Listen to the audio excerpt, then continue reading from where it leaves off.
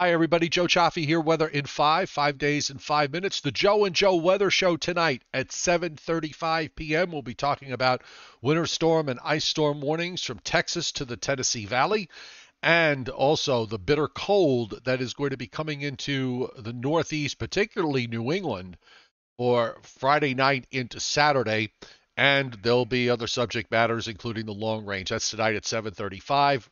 Brought to you by Omni True Value Hardware at 1226 North Wellwood Avenue in West Babylon, New York. Got salt, got sand, and this spring they'll have mulch. And in the meantime, everything you need to get through the winter. And maybe if you're thinking about spring, they've got it too. 631 756 1125 is the phone number, and the website is omnitruevalue.com. So let's go back to that watches and warnings map and uh, we have uh, winter storm warnings for much of central and northeast Texas, southeastern Oklahoma into Arkansas. They turn into ice storm warnings uh, for the rest of Arkansas into western Tennessee. This is going to this is a widespread icing event that is occurring from Texas northeastward uh, into uh, Kentucky and even into central Tennessee. Meanwhile, it's pretty quiet over the rest of the country. We've got a few winter weather advisories showing up in northwest Montana, and that really is about it. Now, we had a little bit of snow uh, last night and this morning with an emphasis on a little bit. And that uh, is thanks to a cold front that has moved on through. It's a chilly day in the Northeast, and we're kind of on the edge here of the cloud line. And to the south, we have clouds that extend across the mid Atlantic states down into that ice storm that's going on in, in uh, Texas and in the middle lower Mississippi Valley. There are waves of low pressure that are moving along it, and another wave is going to be coming by for tonight. And I think that might produce uh, another period of snow sometime, let's say, between 1 a.m. In, and 7 a.m. and 7 a.m south central and southeastern Pennsylvania, across New Jersey, the lower Hudson Valley, into southern New England and Long Island. Uh, not everybody will see it, uh, but I think uh, there'll be some, and and the coating is certainly possible because we do have colder temperatures around. I think we're going to be in the upper 20s and low 30s during the overnight. So if it snows steadily for an hour or two, maybe you get a coating. Maybe somebody at the outside chance gets an inch out of this. And then that wave goes out. And you'll notice a second wave of moisture coming out of Texas and into Arkansas. And that is going to be moving eastward. That's the last wave of, of the series here.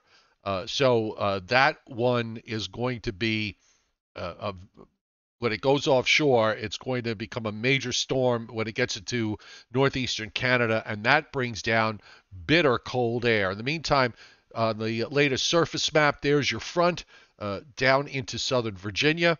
Uh, the wave that is sitting in northwestern Virginia, there's another wave that's uh, plotted uh, down in southern Tennessee, and that stationary boundary goes all the way back down to the Gulf of Mexico.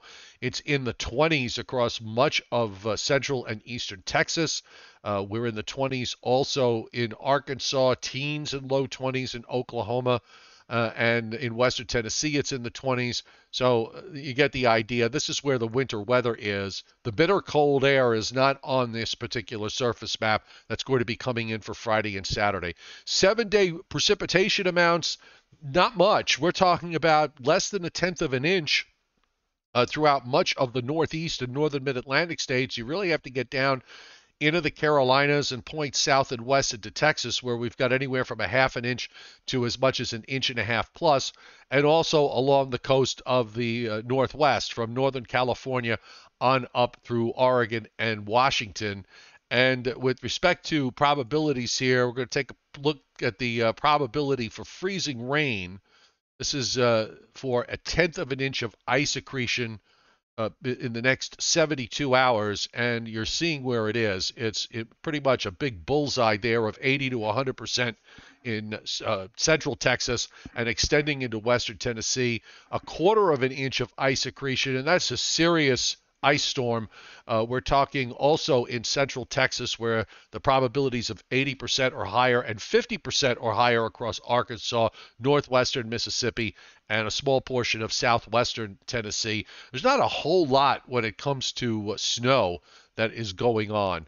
uh, in, in the uh, U.S. at the moment. It's primarily this ice storm situation. If we look at the probability for snow for at least two inches in the next 72 hours, uh, it is mostly uh, way up in upstate New York around the Great Lakes. This is through Friday morning, by the way, and a little spot there in northernmost Maine and also in and around Lake Michigan. That really is it as far as snow is concerned. And then if you go out in the west, uh, we also have minimal amounts of snow showing up. And notice, by the way, in the area that we have the ice storm, uh, there isn't uh, much, if any, snow that's part of this uh, particular equation.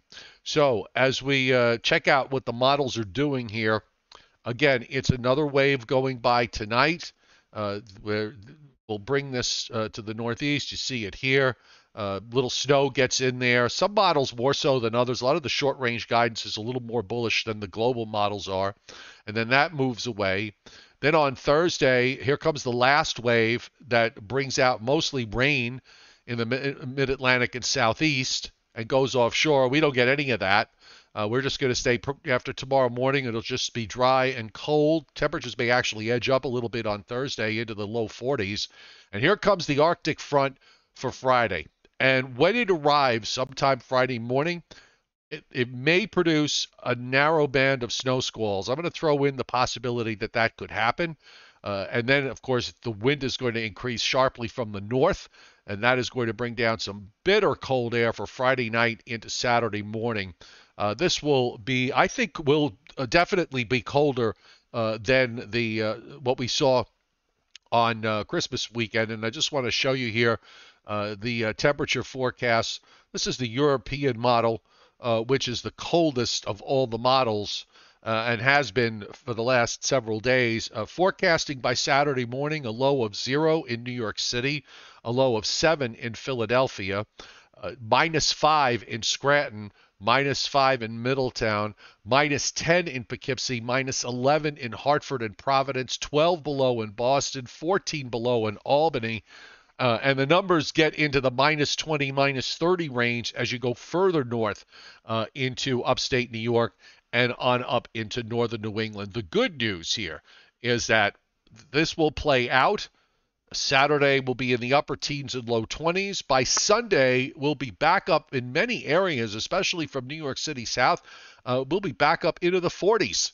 Uh, and there might even be a rain shower late in the afternoon or evening. So all this bitter cold air that comes in outside of maybe a snow squall chance Friday morning, uh, this will play itself out, and then when it does precipitate, it'll be rain, and you won't see a flake or an ice pellet. It is amazing how weather works sometimes, but uh, this is the kind of winter uh, that it is. Weather in 5 is brought to you by Omni True Value Hardware at 1226 North Wellwood Avenue in West Babylon, 631-756-1125 for the best prices in town.